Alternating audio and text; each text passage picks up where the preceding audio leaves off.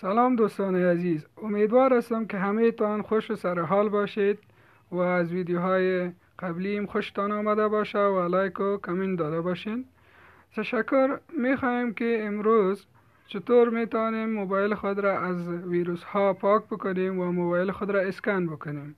چه فایده های ما می‌کنیم؟ ما در این ویدیو می‌تونیم بگوییم که وقتی ما موبایل خود اسکن کنیم می‌تونیم حافظه اضافی به دست بیاریم. می‌تونیم charge موبایل خود را بیشتر مصرف کنیم و ویروس هایی که از را پاک بسازیم. خب چطور می‌تونیم میم اولین کاری که می‌کنیم در setting موبایل میریم. setting موبایل را پیدا می‌کنیم و در اونجا چیزی که نوشته است باید به نام device maintenance باشه. یعنی device maintenance را پیدا می‌کنیم. سرش کلیک می‌کنیم. اینجا سکن شروع میشه. سکن چهار سکن است که یکی خود اسکن موبایل است memory است storage است و باتری است. سر اولین چیز ما کلیک می‌کنیم که به نام device security است. این وقتی device security رو زدیم ما scan phone میگیم. در اینجا phone scan می‌کنه. یعنی scan completed now ایشو باز اینجا وقتی خلاص شدیم میریم در memory. memory هم کار خود را آغاز می‌کنه scanning خود آغاز می‌کنه.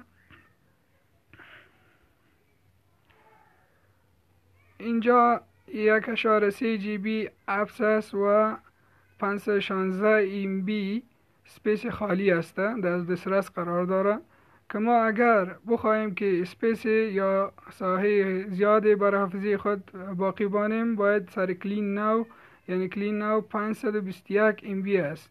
می‌تونیم 521 MB را خالی بسازیم. ببینین دوستا برای ما در حافظه موبایل ما 521 MB جای ماند. این بسیار چیز است. ببینین اول اول بل space ما 500 بود حالا 887 شده. که میایم در قدم بعدی به storage میریم. در storage اینجا نوشته شده که clean already هم پاک است. می‌تونیم در اینجا document ها image ها و audio videos و apps خود رو پیدا کنیم که او چیزی که به کار ما نیست او را پاک بسازیم.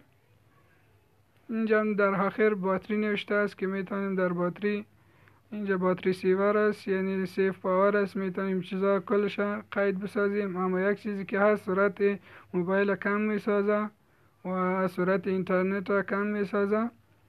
موبایل کمکی لا میشه دیگه اگر در وقت ضرورت که می‌خواین بسیار charge به دست بیارین charge زیاد می‌خواستین save power بزنین. اگر ضرورت نداشتین می‌تونین استفاده نکنین. تشکر دوستا. اگر این ویدیو خوشتان آمده باشه ویدیو را like بکنین و channel ما را subscribe بکنین. تشکر.